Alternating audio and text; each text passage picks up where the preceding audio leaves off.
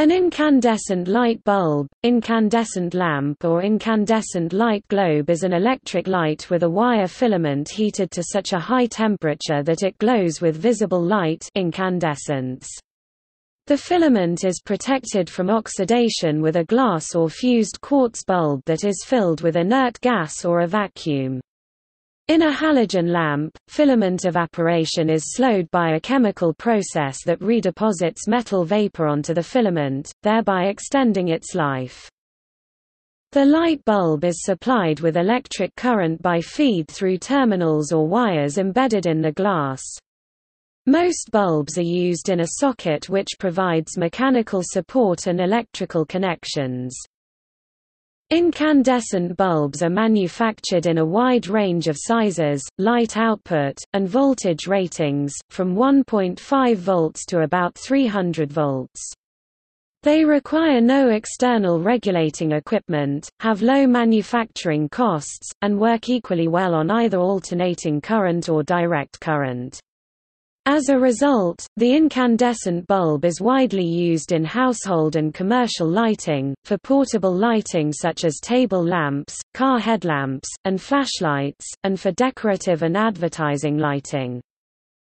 Incandescent bulbs are much less efficient than other types of electric lighting. Incandescent bulbs convert less than 5% of the energy they use into visible light, with standard light bulbs averaging about 2.2%.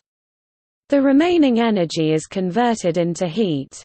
The luminous efficacy of a typical incandescent bulb for 120 volts operation is 16 lumens per watt, compared with 60 lumens W for a compact fluorescent bulb or 150 lumens W for some white LED lamps. Some applications of the incandescent bulb, such as heat lamps, deliberately use the heat generated by the filament.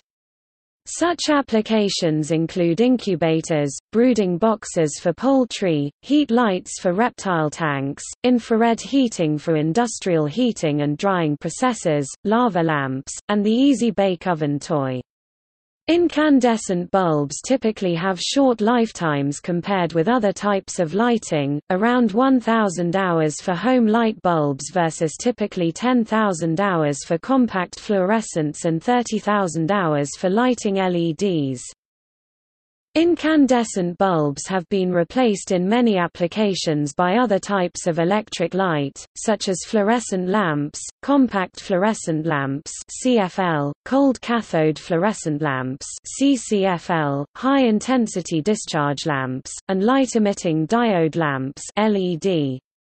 Some jurisdictions, such as the European Union, China, Canada and United States, are in the process of phasing out the use of incandescent light bulbs while others, including Colombia, Mexico, Cuba, Argentina and Brazil, have prohibited them already.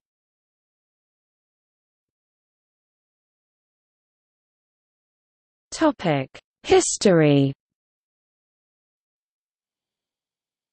In addressing the question of who invented the incandescent lamp, historians Robert Friedel and Paul Israel list 22 inventors of incandescent lamps prior to Joseph Swan and Thomas Edison.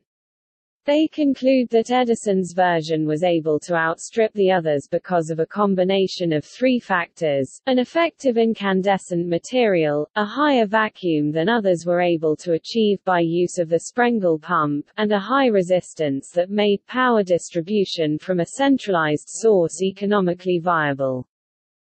Historian Thomas Hughes has attributed Edison's success to his development of an entire, integrated system of electric lighting. The lamp was a small component in his system of electric lighting, and no more critical to its effective functioning than the Edison jumbo generator, the Edison main and feeder, and the parallel distribution system. Other inventors with generators and incandescent lamps, and with comparable ingenuity and excellence, have long been forgotten because the creators did not preside over their introduction in a system of lighting.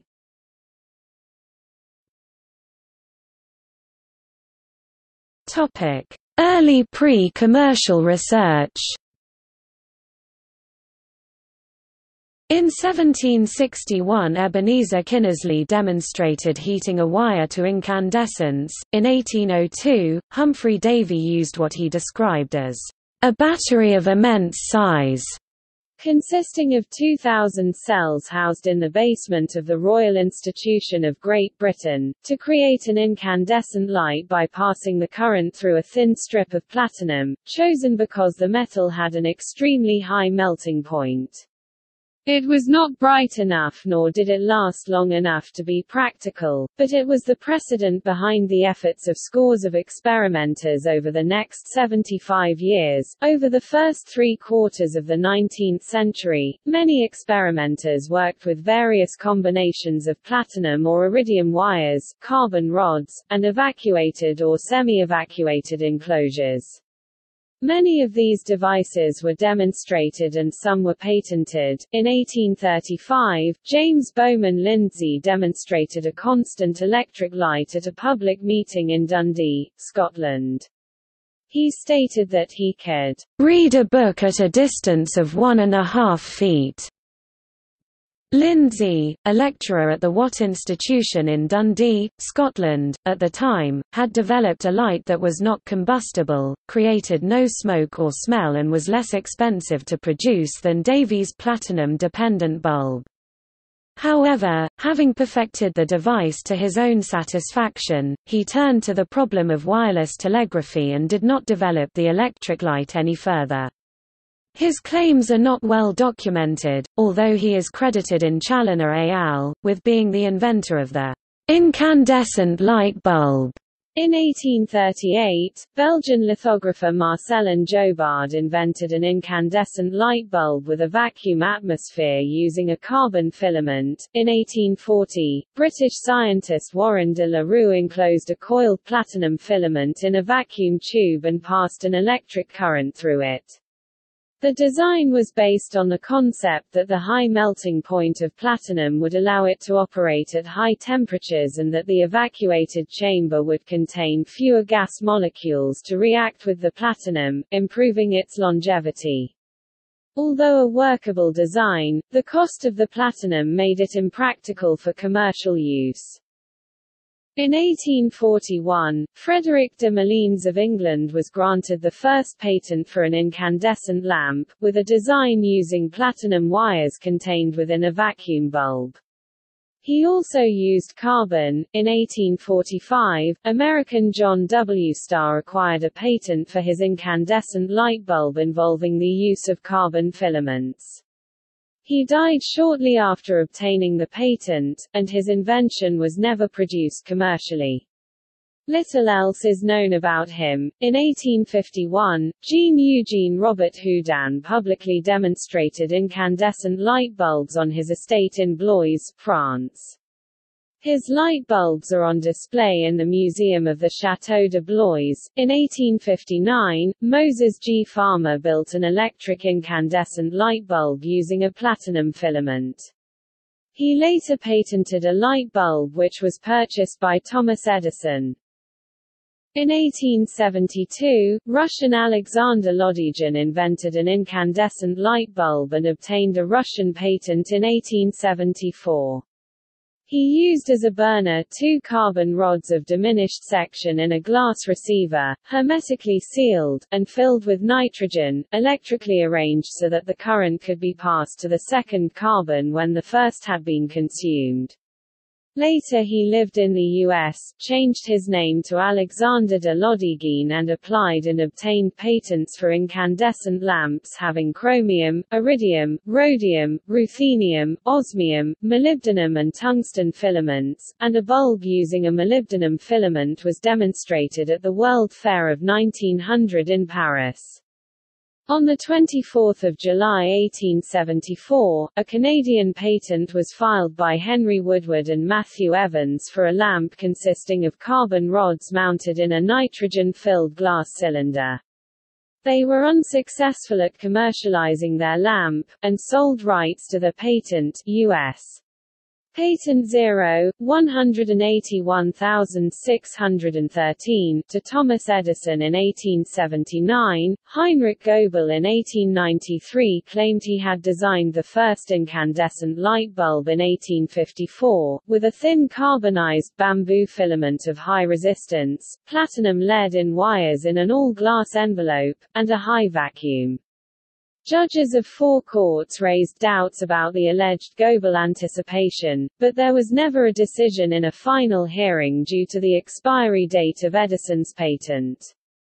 A research work published 2007 concluded that the story of the Goebel lamps in the 1850s is a legend.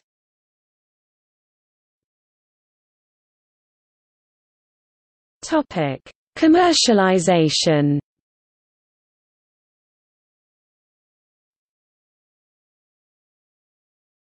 Topic: Dominance of carbon filament and vacuum. Joseph Swan (1828–1914) was a British physicist and chemist.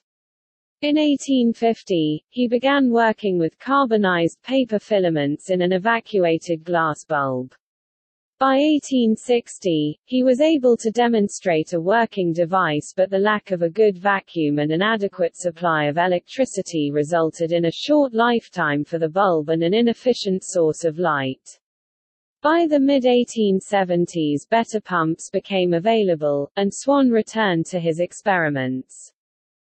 With the help of Charles Stearn, an expert on vacuum pumps, in 1878, Swan developed a method of processing that avoided the early bulb blackening. This received a British patent in 1880.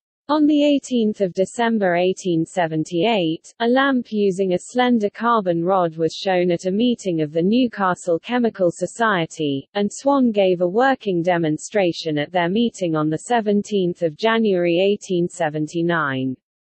It was also shown to 700 who attended a meeting of the Literary and Philosophical Society of Newcastle upon Tyne on 3 February 1879. These lamps used a carbon rod from an arc lamp rather than a slender filament. Thus they had low resistance and required very large conductors to supply the necessary current, so they were not commercially practical, although they did furnish a demonstration of the possibilities of incandescent lighting with relatively high vacuum, a carbon conductor, and platinum lead in wires. This bulb lasted about 40 hours. Swan then turned his attention to producing a better carbon filament and the means of attaching its ends. He devised a method of treating cotton to produce parchmentized thread in the early 1880s and obtained British patent 4933 that same year. From this year he began installing light bulbs in homes and landmarks in England. His house, Underhill, Low Fell, Gateshead, was the first in the world to be lit by a light bulb and also the first house in the world to be lit by hydroelectric power. In 1878 the home of Lord Armstrong at Cragside was also among the first houses to be lit by electricity. In the early 1880s he had started his company, in 1881, the Savoy Theatre in the city of Westminster, London was lit by Swan incandescent light bulbs, which was the first theatre, and the first public building in the world, to be lit entirely by electricity. The first street in the world to be lit by an incandescent light bulb was Mosley Street, Newcastle upon Tyne, United Kingdom. It was lit by Joseph Swan's incandescent lamp on 3 February 1879. Thomas Edison began serious research into developing a practical incandescent lamp in 1878. Edison filed his first patent application for improvement in electric lights on 14 October 1878. After many experiments, first with carbon in the early 1880s and then with platinum and other metals, in the end Edison returned to a carbon filament. The first successful test was on the 22nd of October 1879 and lasted 13.5 hours.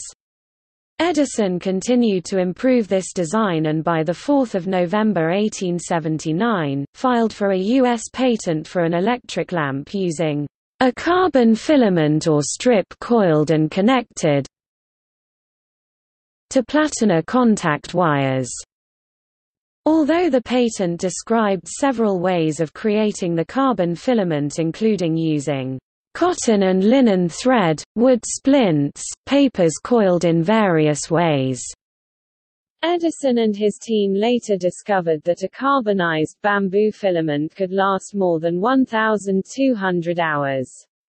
In 1880, the Oregon Railroad and Navigation Company steamer, Columbia, became the first application for Edison's incandescent electric lamps. It was also the first ship to use a dynamo. Albon Man, a New York lawyer, started Electro-Dynamic Light Company in 1878 to exploit his patents and those of William Sawyer.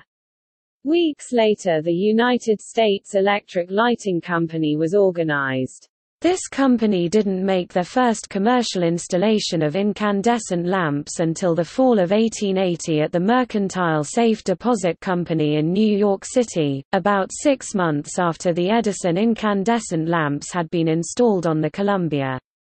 Hiram S. Maxim was the chief engineer at the United States Electric Lighting Company. Lewis Latimer, employed at the time by Edison, developed an improved method of heat treating carbon filaments which reduced breakage and allowed them to be molded into novel shapes, such as the characteristic M shape of Maxim filaments. On 17 January 1882, Latimer received a patent for the process of manufacturing carbons, an improved method for the production of light bulb filaments, which was purchased by the United States Electric Light Company.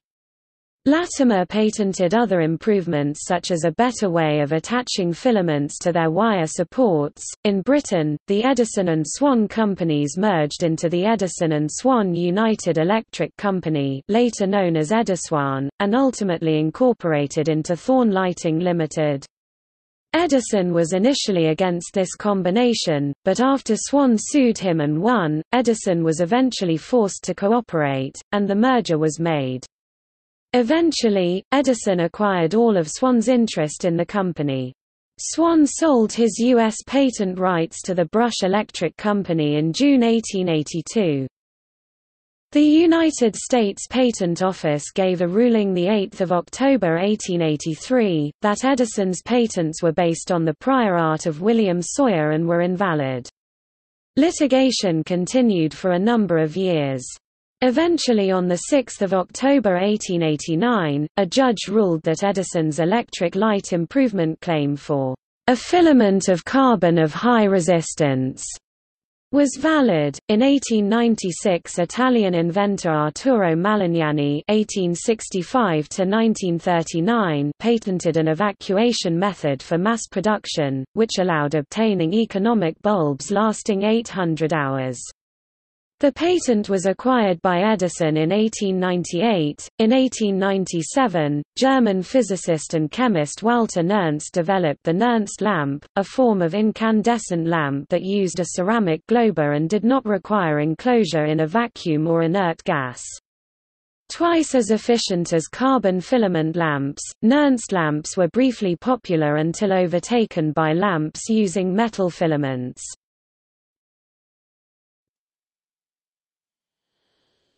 Topic: Revolution of the tungsten filament, inert gas, and the coiled coil.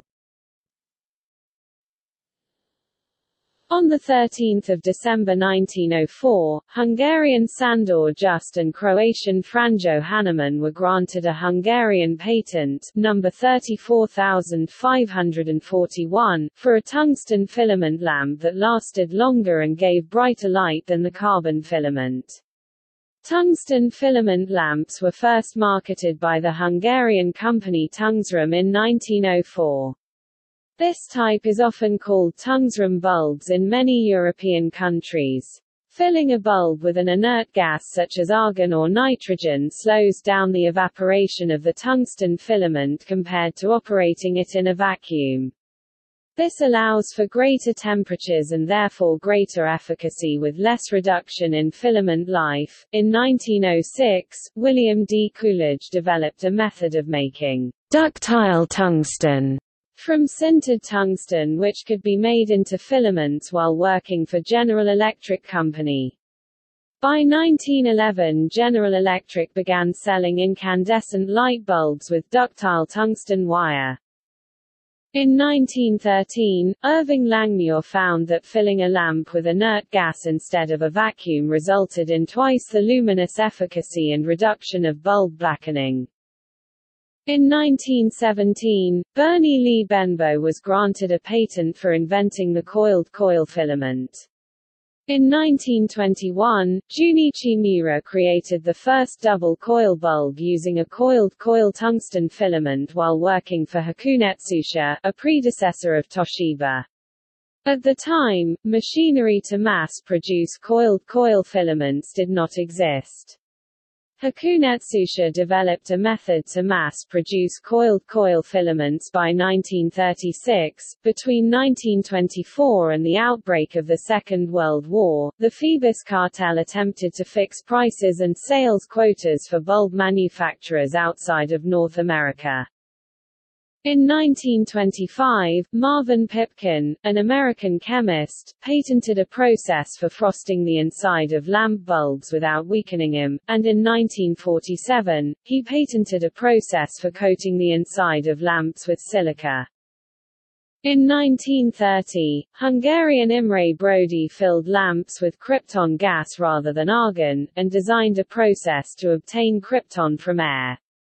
Production of krypton-filled lamps based on his invention started at Ajka in 1937, in a factory co-designed by Polanyi and Hungarian-born physicist Egon Orowan. By 1964, improvements in efficiency and production of incandescent lamps had reduced the cost of providing a given quantity of light by a factor of 30, compared with the cost at introduction of Edison's lighting system. Consumption of incandescent light bulbs grew rapidly in the U.S.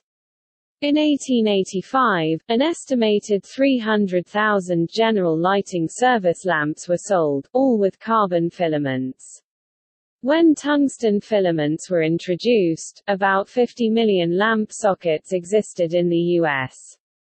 In 1914, 88.5 million lamps were used, only 15% with carbon filaments, and by 1945, annual sales of lamps were 795 million, more than 5 lamps per person per year.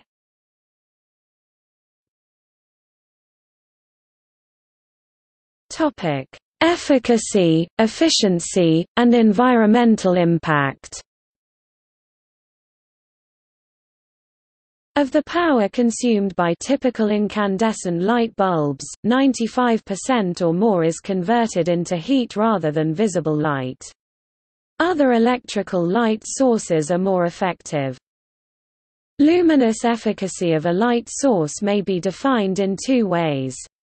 The radiant luminous efficacy is the ratio of the visible light flux emitted the luminous flux to the total power radiated over all wavelengths.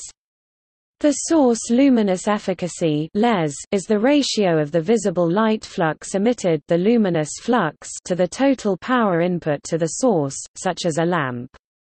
Visible light is measured in lumens, a unit which is defined in part by the differing sensitivity of the human eye to different wavelengths of light. Not all wavelengths of visible electromagnetic energy are equally effective at stimulating the human eye. The luminous efficacy of radiant energy is a measure of how well the distribution of energy matches the perception of the eye. The units of luminous efficacy are lumens per watt. LPW. The maximum LER possible is 683 lumens W for monochromatic green light at 555 nanometers wavelength, the peak sensitivity of the human eye. The luminous efficiency is defined as the ratio of the luminous efficacy to the theoretical maximum luminous efficacy of 683 lpw, and, as for luminous efficacy, is of two types, radiant luminous efficiency LFR, and source luminous efficacy LFS. The chart below lists values of overall luminous efficacy and efficiency for several types of general service, 120 volt, 1000-hour lifespan incandescent bulb, and several idealized light sources. The values for the incandescent bulbs are source efficiencies and efficacies. The values for the ideal sources are radiant efficiencies and efficacies. A similar chart in the article on luminous efficacy compares a broader array of light sources to one another. The spectrum emitted by a blackbody radiator at temperatures of incandescent bulbs does not match the sensitivity characteristics of the human eye. Most of the radiation is not in the range of wavelengths to which the eye is sensitive. Tungsten filaments radiate mostly infrared radiation at temperatures where they remain solid, below 3695 K 3422 degrees Celsius, 6191 degrees Fahrenheit. Donald L. Klipstein explains it this way. An ideal thermal radiator produces visible light most efficiently at temperatures around 6300 degrees Celsius, 6600 K, 11400 degrees Fahrenheit. Even at this high temperature, a lot of the radiation is either infrared or ultraviolet, and the theoretical luminous efficacy is 95 lumens per watt. No known material can be used as a filament at this ideal temperature, which is hotter than the Sun's surface. An upper limit for incandescent lamp luminous efficacy is around 52 lumens per watt, the theoretical value emitted by tungsten at its melting point. Although inefficient, incandescent light bulbs have an advantage in applications where accurate color reproduction is important, since the continuous blackbody spectrum emitted from an incandescent light bulb filament yields near perfect color rendition, with a color rendering index of 100 the best possible. White balancing is still required to avoid too warm or cool colors, but this is a simple process that requires only the color temperature in kelvins as input for modern, digital visual reproduction equipment such as video or still cameras unless it is completely automated.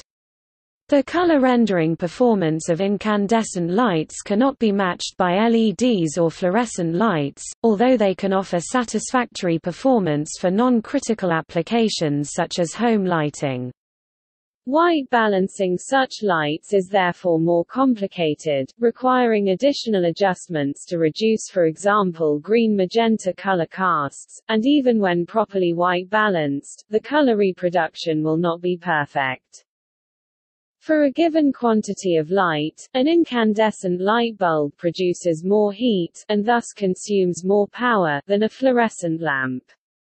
In buildings where air conditioning is used, incandescent lamps' heat output increases load on the air conditioning system. While heat from lights will reduce the need for running a building's heating system, in general a heating system can provide the same amount of heat at a lower cost than incandescent lights.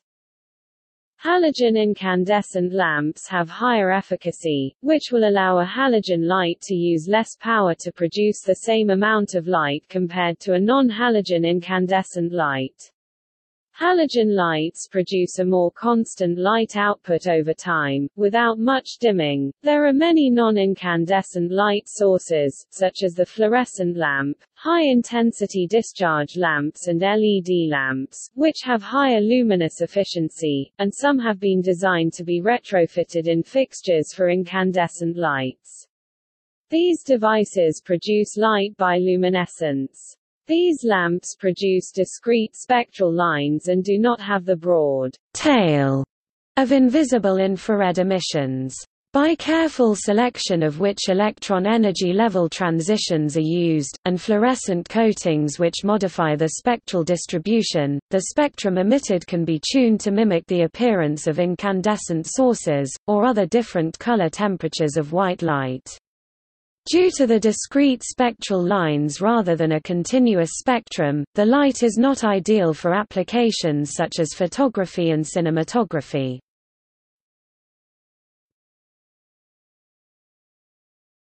Topic: Cost of lighting. The initial cost of an incandescent bulb is small compared to the cost of the energy it uses over its lifetime. Incandescent bulbs have a shorter life than most other lighting, an important factor if replacement is inconvenient or expensive. Some types of lamp, including incandescent and fluorescent, emit less light as they age. This may be an inconvenience, or may reduce effective lifetime due to lamp replacement before total failure. A comparison of incandescent lamp operating cost with other light sources must include illumination requirements, cost of the lamp and labor cost to replace lamps, taking into account effective lamp lifetime, cost of electricity used, effect of lamp operation on heating and air conditioning systems. When used for lighting in houses and commercial buildings, the energy lost to heat can significantly increase the energy required by a building's air conditioning system. During the heating season heat produced by the bulbs is not wasted, although in most cases it is more cost-effective to obtain heat from the heating system.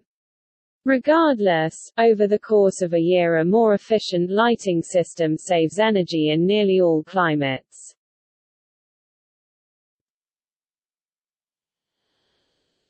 Topic: Measures to ban use. Since incandescent light bulbs use more energy than alternatives such as CFLs and LED lamps, many governments have introduced measures to ban their use, by setting minimum efficacy standards higher than can be achieved by incandescent lamps. Measures to ban light bulbs have been implemented in the European Union, the United States, Russia, Brazil, Argentina, Canada and Australia, among others. In the Europe the EC has calculated that the ban contributes 5 to 10 billion euros to the economy and saves 40 terawatt-hours of electricity every year, translating in CO2 emission reductions of 15 million tons. In the US, federal law has scheduled the most common incandescent light bulbs to be phased out by 2014, to be replaced with more energy-efficient light bulbs. Traditional incandescent light bulbs were phased out in Australia in November 2009. Objections to banning the use of incandescent light bulbs include the higher initial cost of alternatives and lower quality of light of fluorescent lamps. Some people have concerns about the health effects of fluorescent lamps. However, even though they contain mercury, the environmental performance of CFLs is much better than that of light bulbs, mostly because they consume much less energy and therefore strongly reduce the environmental impact of power production. LED lamps are even more efficient, and are free of mercury.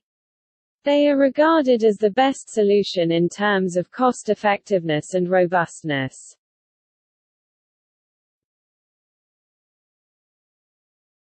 Topic: Efforts to improve efficiency. Some research has been carried out to improve the efficacy of commercial incandescent lamps. In 2007, the Consumer Lighting Division of General Electric announced a high-efficiency incandescent HEI lamp project, which they claimed would ultimately be as much as four times more efficient than current incandescents, although their initial production goal was to be approximately twice as efficient. The HEI program was terminated in 2008 due to slow progress. U.S. Department of Energy research at Sandia National Laboratories initially indicated the potential for dramatically improved efficiency from a photonic lattice filament. However, later work indicated that initially promising results were in error, prompted by legislation in various countries mandating increased bulb efficiency. New hybrid incandescent bulbs have been introduced by Philips.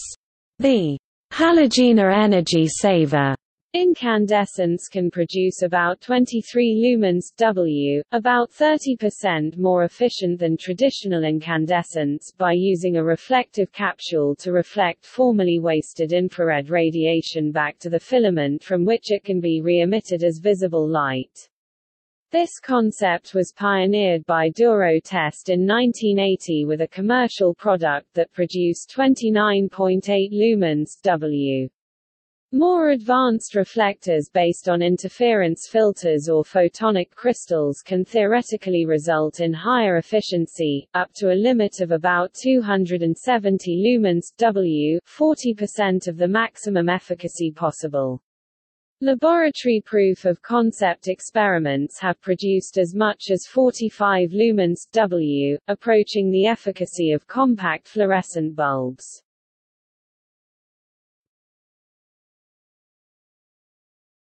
Topic: Construction. Incandescent light bulbs consist of an airtight glass enclosure, the envelope, or bulb, with a filament of tungsten wire inside the bulb, through which an electric current is passed. Contact wires and a base with two, or more, conductors provide electrical connections to the filament. Incandescent light bulbs usually contain a stem or glass mount anchored to the bulb's base that allows the electrical contacts to run through the envelope without air or gas leaks. Small wires embedded in the stem in turn support the filament and its lead wires. An electric current heats the filament to typically 2000 to 3300 K, 3140 to 5480 degrees Fahrenheit, well below tungsten's melting point of 3695 K, 6191 degrees Fahrenheit. Filament temperatures depend on the filament type, shape, size, and amount of current drawn. The heated filament emits light that approximates a continuous spectrum. The useful part of the emitted energy is visible light, but most energy is given off as heat in the near-infrared wavelengths. Three-way light bulbs have two filaments and three conducting contacts in the bases. The filaments share a common ground, and can be lit separately or together. Common wattages include 30, 70, 100, 50, 100, 150, and 100, 200, 300, with the first two numbers referring to the individual filaments, and the third giving the combined wattage.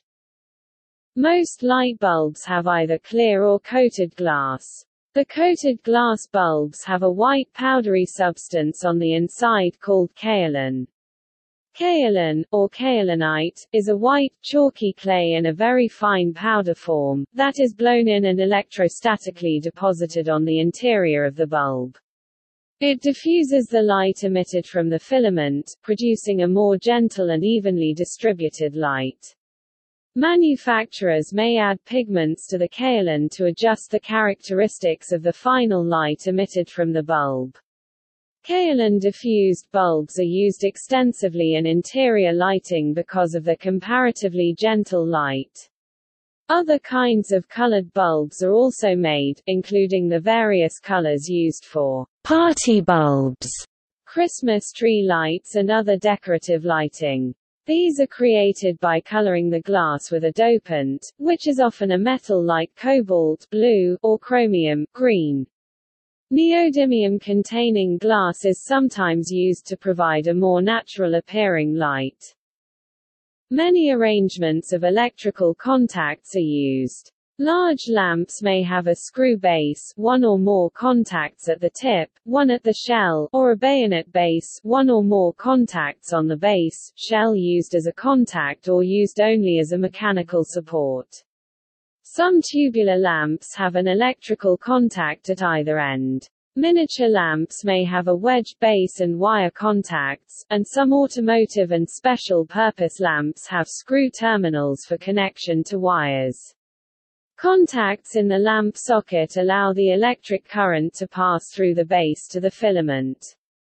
Power ratings for incandescent light bulbs range from about 0.1 watt to about 10,000 watts. The glass bulb of a general service lamp can reach temperatures between 200 and 260 degrees Celsius 392 and 500 degrees Fahrenheit. Lamps intended for high power operation or used for heating purposes will have envelopes made of hard glass or fused quartz.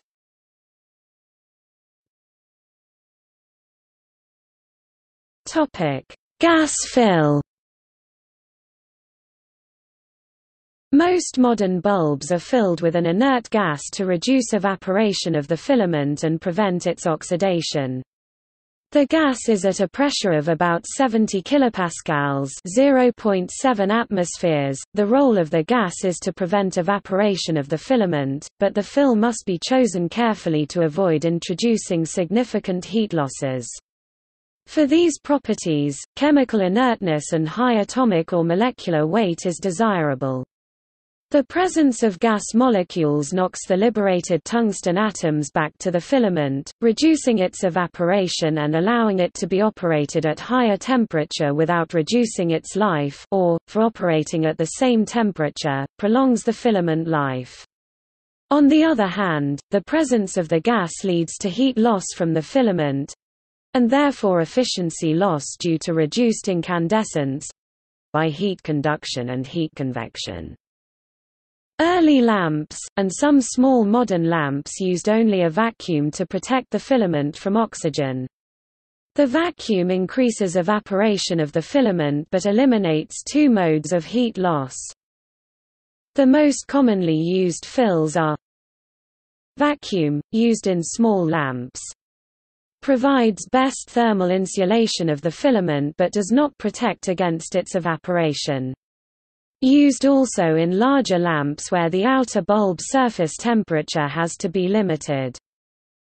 Argon 93% and nitrogen 7%, where argon is used for its inertness, low thermal conductivity and low cost, and the nitrogen is added to increase the breakdown voltage and prevent arcing between parts of the filament. Nitrogen, used in some higher power lamps, e.g. projection lamps, and where higher breakdown voltage is needed due to proximity of filament parts or lead in wires. Krypton, which is more advantageous than argon due to its higher atomic weight and lower thermal conductivity which also allows use of smaller bulbs, but its use is hindered by much higher cost, confining it mostly to smaller size bulbs.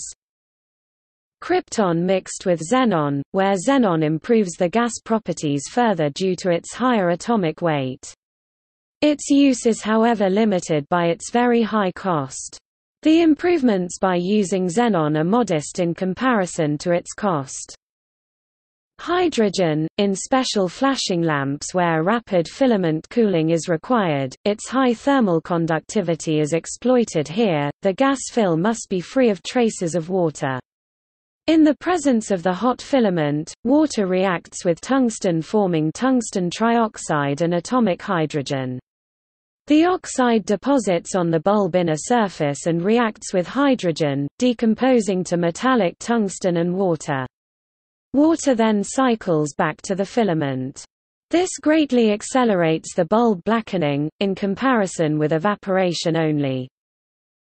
The gas layer close to the filament called the Langmuir layer is stagnant, with heat transfer occurring only by conduction. Only at some distance does convection occur to carry heat to the bulb's envelope. The orientation of the filament influences efficiency.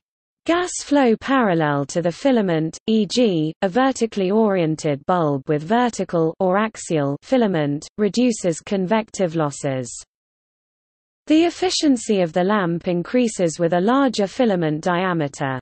Thin filament, low-power bulbs benefit less from a fill gas, so are often only evacuated. Early light bulbs with carbon filaments also used carbon monoxide, nitrogen, or mercury vapor. However, carbon filaments operate at lower temperatures than tungsten ones, so the effect of the fill gas was not significant as the heat losses offset any benefits.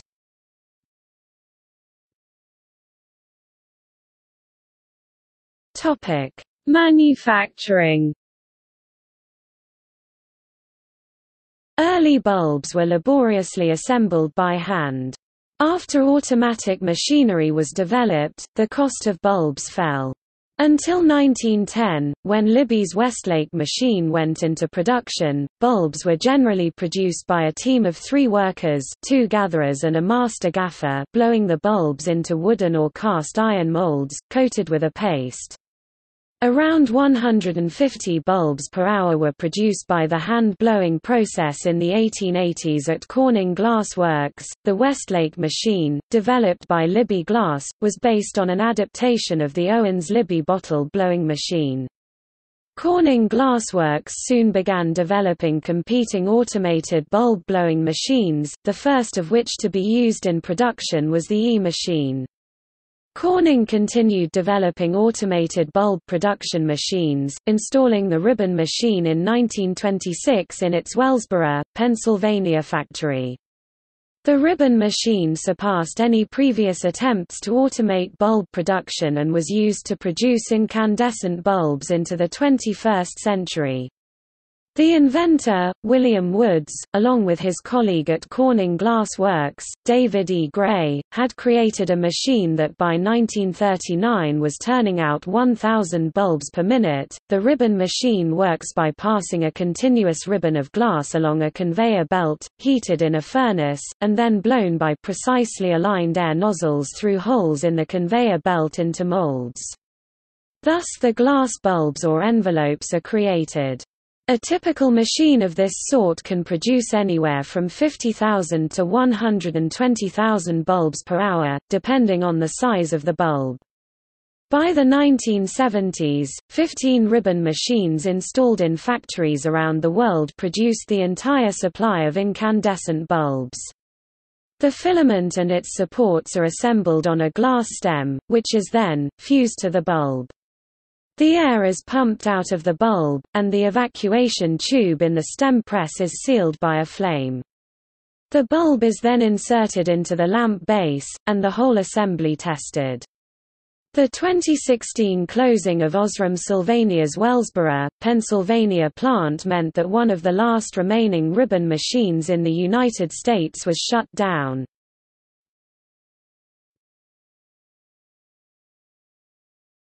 Topic: Filament. The first successful light bulb filaments were made of carbon from carbonized paper or bamboo.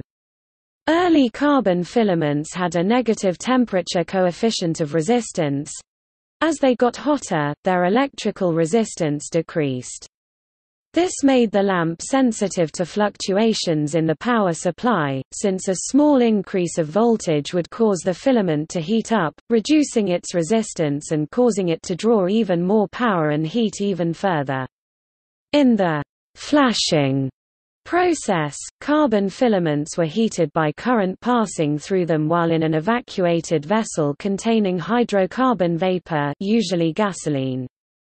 The carbon deposited on the filament by this treatment improved the uniformity and strength of filaments as well as their efficiency. A metallized or graphitized filament was first heated in a high-temperature oven before flashing and lamp assembly. This transformed the carbon into graphite, which further strengthened and smoothed the filament. This also changed the filament to have a positive temperature coefficient, like a metallic conductor, and helped stabilize the lamp's power consumption, temperature and light output against minor variations in supply voltage. In 1902, the Siemens company developed a tantalum lamp filament. These lamps were more efficient than even graphitized carbon filaments and could operate at higher temperatures. Since tantalum metal has a lower resistivity than carbon, the tantalum lamp filament was quite long and required multiple internal supports. The metal filament had the property of gradually shortening in use, the filaments were installed with large loops that tightened in use. This made lamps in use for several hundred hours quite fragile.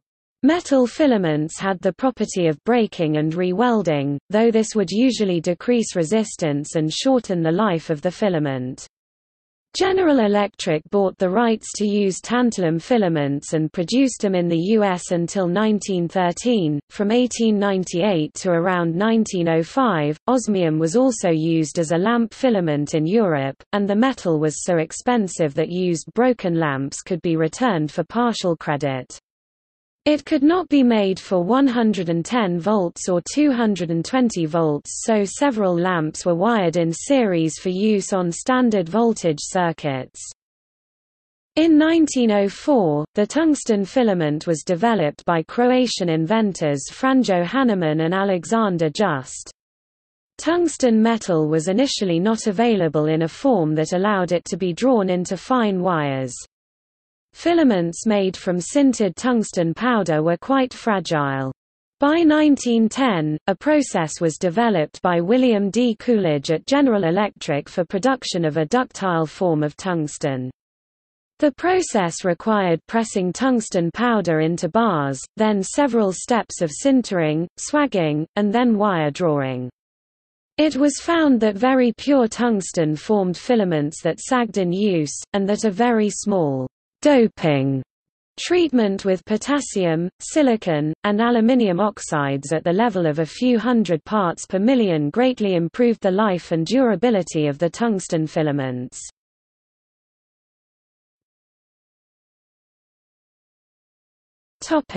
Coiled coil filament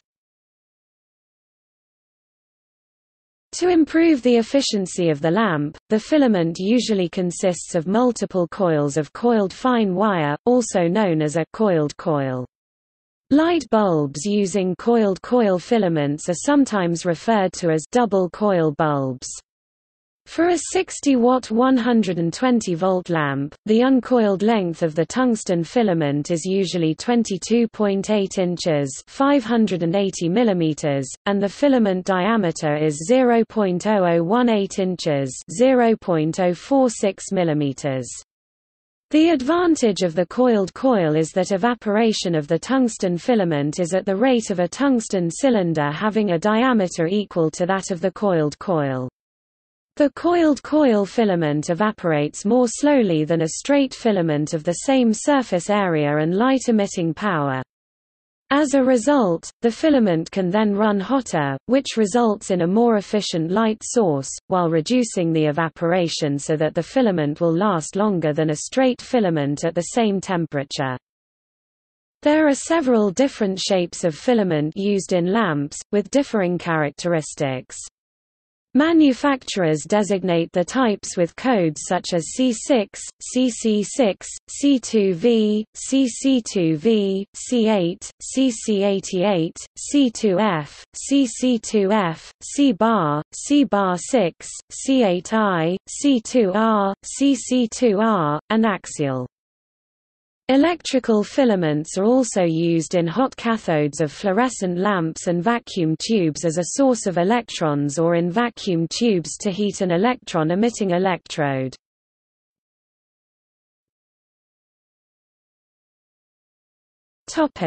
Reducing filament evaporation One of the problems of the standard electric light bulb is filament notching due to evaporation of the filament. Small variations in resistivity along the filament cause hot spots to form at points of higher resistivity, a variation of diameter of only 1% will cause a 25% reduction in service life. These hot spots evaporate faster than the rest of the filament, which increases the resistance at that point. This creates a positive feedback that ends in the familiar tiny gap in an otherwise healthy-looking filament. Irving Langmuir found that an inert gas, instead of vacuum, would retard evaporation. General service incandescent light bulbs over about 25 watts in rating are now filled with a mixture of mostly argon and some nitrogen, or sometimes krypton. Lamps operated on direct current develop random stair-step irregularities on the filament surface which may cut lifespan in half compared to AC operation. Different alloys of tungsten and rhenium can be used to counteract the effect, since a filament breaking in a gas-filled bulb can form an electric arc, which may spread between the terminals and draw very heavy current. Intentionally thin lead in wires or more elaborate protection devices are therefore therefore often used as fuses built into the light bulb. More nitrogen is used in higher voltage lamps to reduce the possibility of arcing. While inert gas reduces filament evaporation, it also conducts heat from the filament, thereby cooling the filament and reducing efficiency. At constant pressure and temperature, the thermal conductivity of a gas depends upon the molecular weight of the gas and the cross-sectional area of the gas molecules. Higher molecular weight gases have lower thermal conductivity, because both the molecular weight is higher and also the cross-sectional area is higher. Xenon gas improves efficiency because of its high molecular weight, but is also more expensive, so its use is limited to smaller lamps. During ordinary operation, the tungsten of the filament evaporates. Hotter, more efficient filaments evaporate faster. Because of this, the lifetime of a filament lamp is a trade-off between efficiency and longevity. The trade-off is typically set to provide a lifetime of several hundred to 2,000 hours for lamps used for general illumination. Theatrical, photographic, and projection lamps may have a useful life of only a few hours, trading life expectancy for high output in a compact form. Long-life general service lamps have lower efficiency but are used where the cost of changing the lamp is high compared to the value of energy used. If a light bulb envelope leaks, the hot tungsten filament reacts with air, yielding an aerosol of brown tungsten nitride, brown tungsten dioxide, violet-blue tungsten pentoxide, and yellow tungsten trioxide that then deposits on the nearby surfaces or the bulb interior.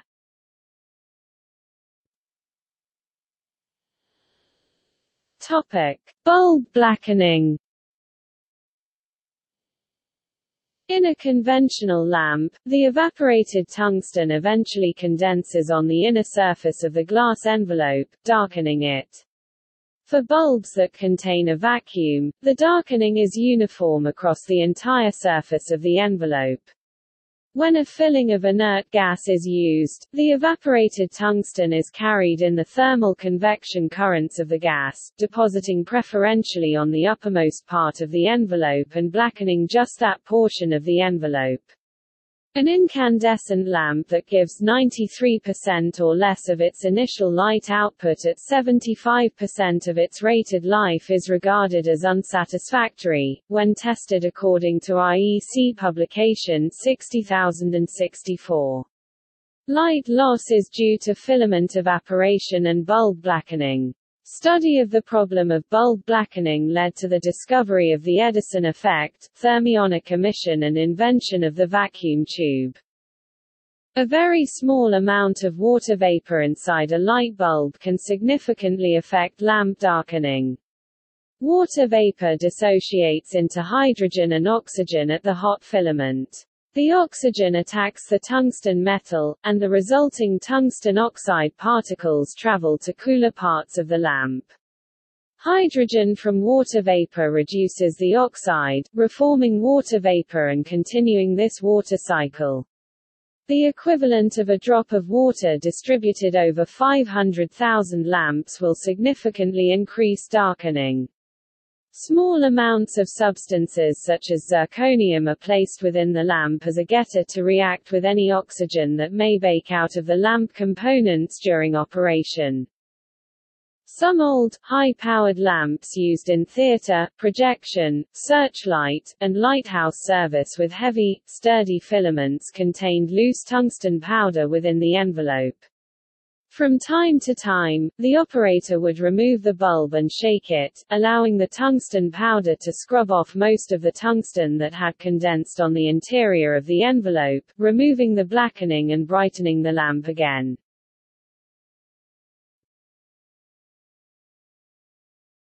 Topic: Halogen lamps. The halogen lamp reduces uneven evaporation of the filament and eliminates darkening of the envelope by filling the lamp with a halogen gas at low pressure, rather than an inert gas. The halogen cycle increases the lifetime of the bulb and prevents its darkening by redepositing tungsten from the inside of the bulb back onto the filament. The halogen lamp can operate its filament at a higher temperature than a standard gas-filled lamp of similar power without loss of operating life.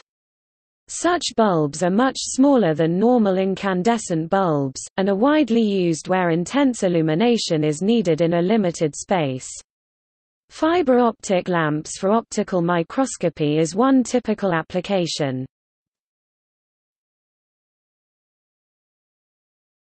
Topic: Incandescent arc lamps. A variation of the incandescent lamp did not use a hot wire filament, but instead used an arc struck on a spherical bead electrode to produce heat. The electrode then became incandescent, with the arc contributing little to the light produced. Such lamps were used for projection or illumination for scientific instruments such as microscopes. These arc lamps ran on relatively low voltages and incorporated tungsten filaments to start ionization within the envelope. They provided the intense concentrated light of an arc lamp but were easier to operate. Developed around 1915, these lamps were displaced by mercury and xenon arc lamps.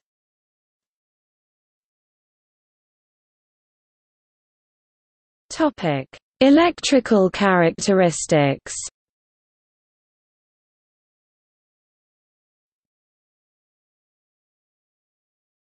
Topic: Power. Incandescent lamps are nearly pure resistive loads with a power factor of 1. This means the actual power consumed in watts and the apparent power in volt amperes are equal. Incandescent light bulbs are usually marketed according to the electrical power consumed. This is measured in watts and depends mainly on the resistance of the filament, which in turn depends mainly on the filament's length, thickness, and material. For two bulbs of the same voltage, type, color, and clarity, the higher powered bulb gives more light.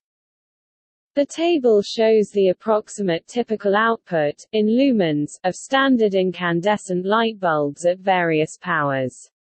Light output of a 230 volts version is usually slightly less than that of a 120 volts version.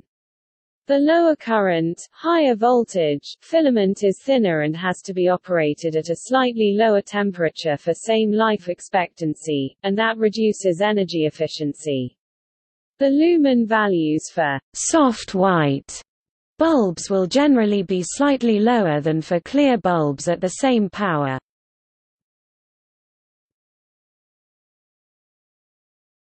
Topic: Current and resistance. The actual resistance of the filament is temperature dependent. The cold resistance of tungsten filament lamps is about 1 15th the hot filament resistance when the lamp is operating.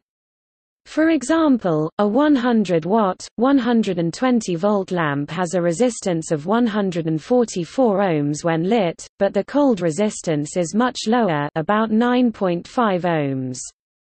Since incandescent lamps are resistive loads, simple phase control triac dimmers can be used to control brightness.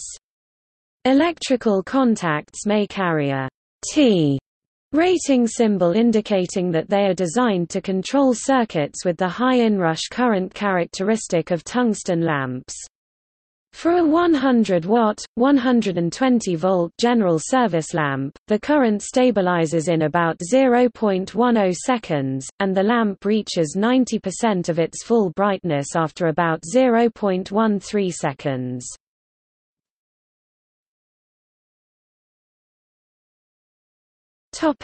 Physical characteristics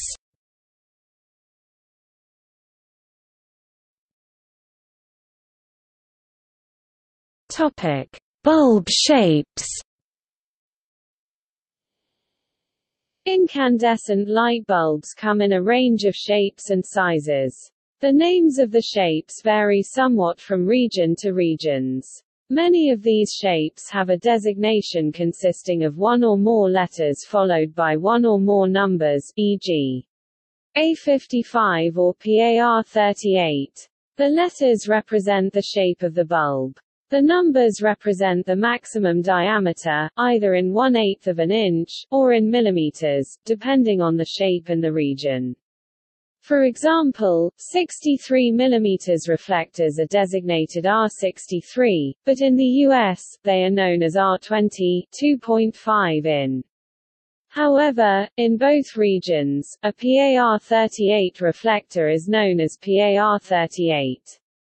ANSI C79.1-2002, is 14897 to 2000 and JISC 7710 to 1988 cover a common terminology for bulb shapes.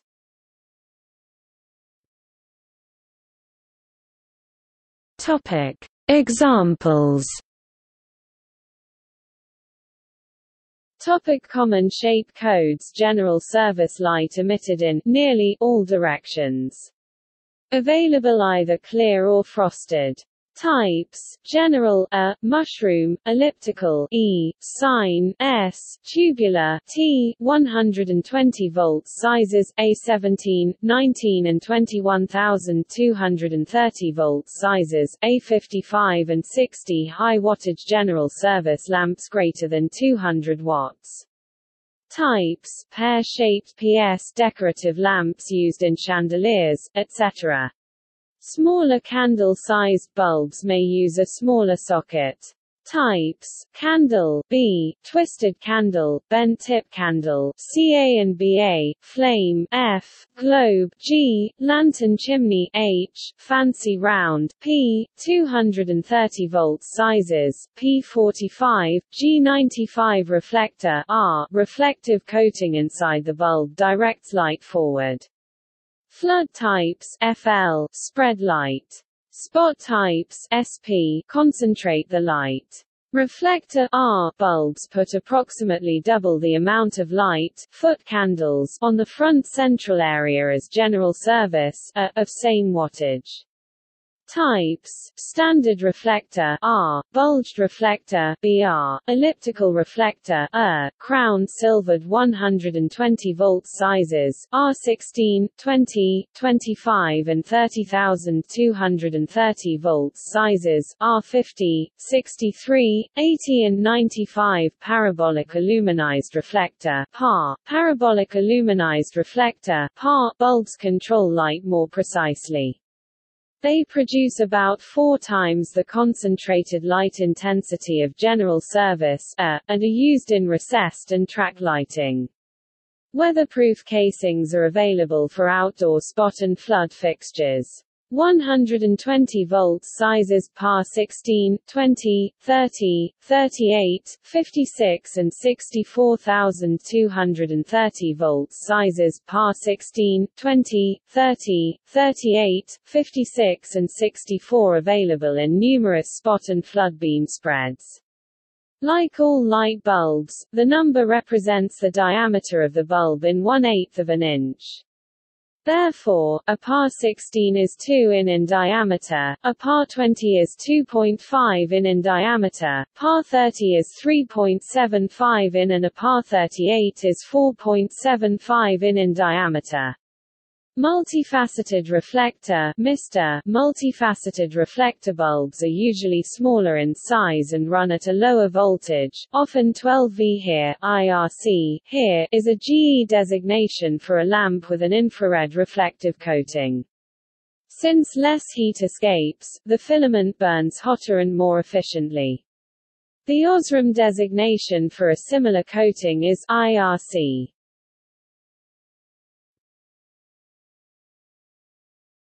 Topic: Lamp bases.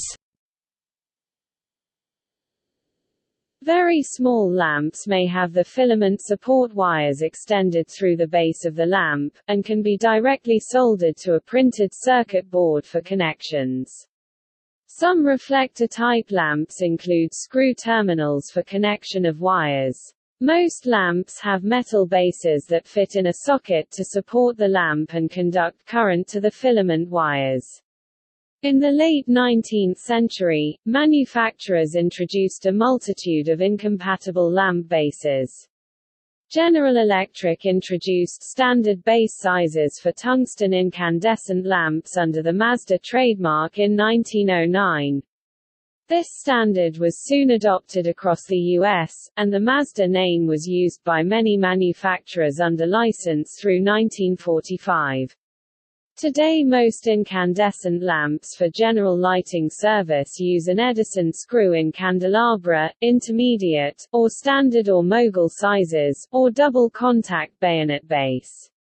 Technical standards for lamp bases include ANSI standard C81.67 and IEC standard 60061-1 for common commercial lamp sizes, to ensure interchangeability between different manufacturers' products.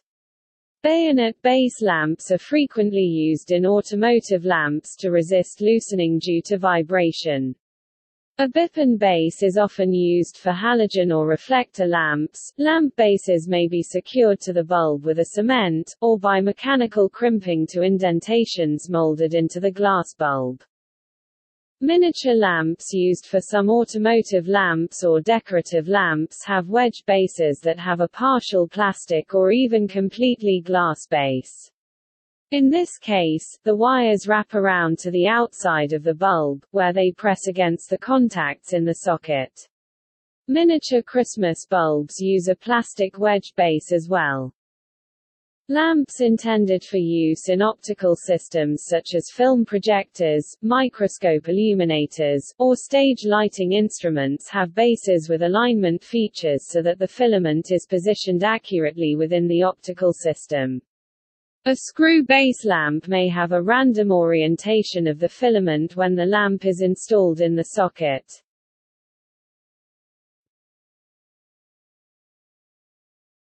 Topic: Light output and lifetime. Incandescent lamps are very sensitive to changes in the supply voltage. These characteristics are of great practical and economic importance. For a supply voltage V near the rated voltage of the lamp, light output is approximately proportional to V 3.4. Power consumption is approximately proportional to V 1.6. Lifetime is approximately proportional to V-16 color temperature is approximately proportional to V0.42 This means that a 5% reduction in operating voltage will more than double the life of the bulb, at the expense of reducing its light output by about 16%. This may be a very acceptable trade-off for a light bulb that is in a difficult-to-access location, for example, traffic lights or fixtures hung from high ceilings. Long-life bulbs take advantage of this trade-off. Since the value of the electric power they consume is much more than the value of the lamp, general service lamps emphasize efficiency over long operating life. The objective is to minimize the cost of light, not the cost of lamps.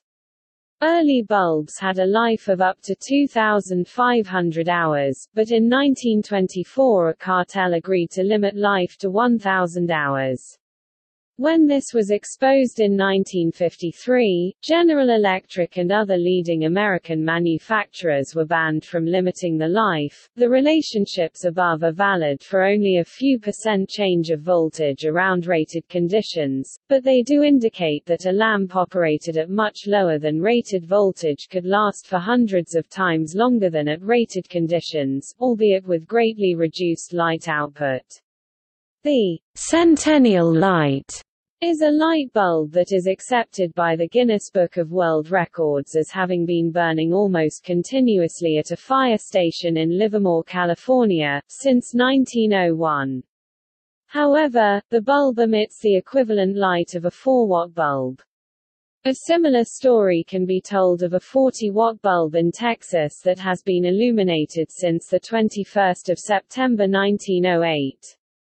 It once resided in an opera house where notable celebrities stopped to take in its glow, and was moved to an area museum in 1977. In flood lamps used for photographic lighting, the trade-off is made in the other direction. Compared to general service bulbs, for the same power, these bulbs produce far more light, and, more importantly, light at a higher color temperature, at the expense of greatly reduced life, which may be as short as two hours for a Type P1 lamp. The upper temperature limit for the filament is the melting point of the metal. Tungsten is the metal with the highest melting point, 3695 K, 6191 degrees Fahrenheit. A 50-hour life projection bulb, for instance, is designed to operate only 50 degrees Celsius 122 degrees Fahrenheit below that melting point.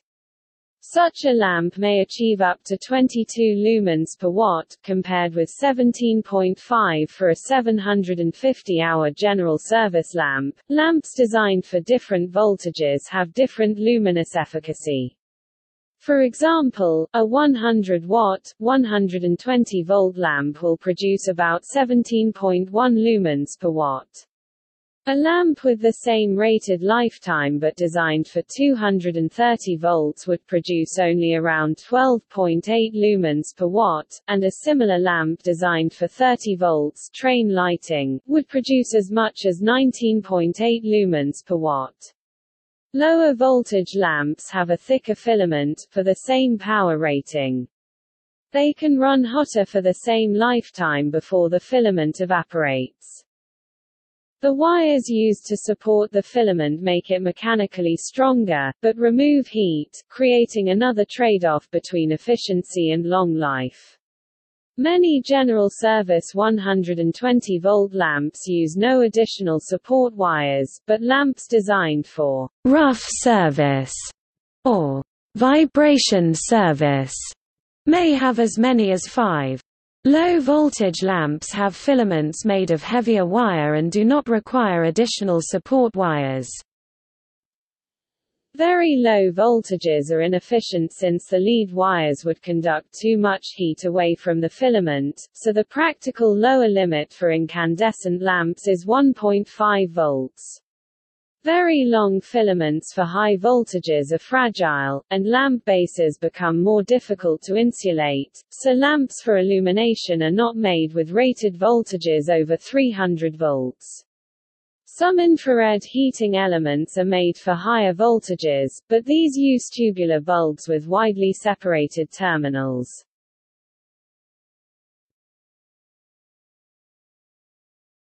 Topic. See also equals equals notes